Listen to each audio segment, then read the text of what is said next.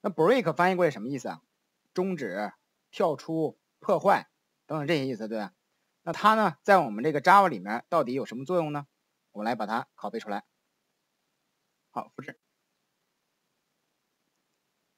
那么粘在这里哈。好，Ctrl V 粘过来。然后现在呢，咱们上来直接来一个 break，break，来编译。大家看怎么了？是不是报错了呀？他说错误在 switch 或者是 loop 外部中断。那么这个 loop 呢，翻译过来是循环的意思。那也就是说，它是有应用场景的，只能在什么呀？只能在 switch 和循环中，那么不能在其他的环境去使用。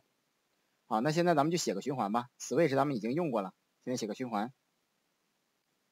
for 那么 int x 等于的是一，x 小于等于十，然后呢 x 加加，然后如果 x 要是等等于四的话，那我就来一个 break b r e a k break，然后呢下面我们就来一个 system 点 out 点 print line，然后输出一个。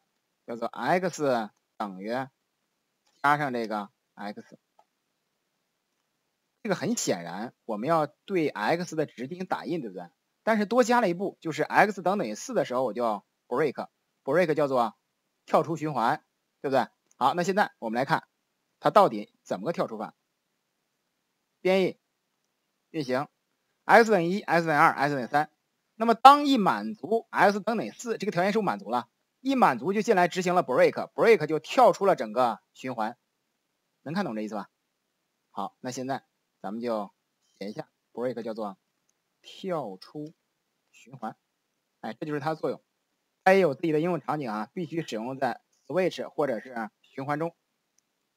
那么这就是咱们学的第一个知识点，叫做 break。好，这知识点咱们在这保存一下。